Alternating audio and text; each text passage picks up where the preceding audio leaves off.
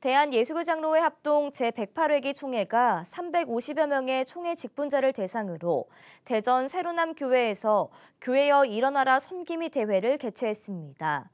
6일 대회는 새롭게 선출된 임원들이 나서 각 부서별, 기관별로 핵심 사업 발표 등을 진행했습니다. 합동총회는 교회여 일어나라라는 비전에 맞춰 국제개발대학원 심창섭 총장과 총신대 박성규 총장 등을 강사로 불러 한국교회 침체 극복 방안 등을 논의했습니다. 한 자리에 모인 총회 임원들은 교회와 세상으로부터 신뢰받는 총회가 되겠다는 서약을 하고 다짐을 선포했습니다. 합동 총회장 오정호 목사는 모든 분들의 기대에 부응하는 총회가 되기를 원한다며 108회기 총회 각 기관이 하나가 되어 주님의 뜻을 이루기를 원한다고 전했습니다.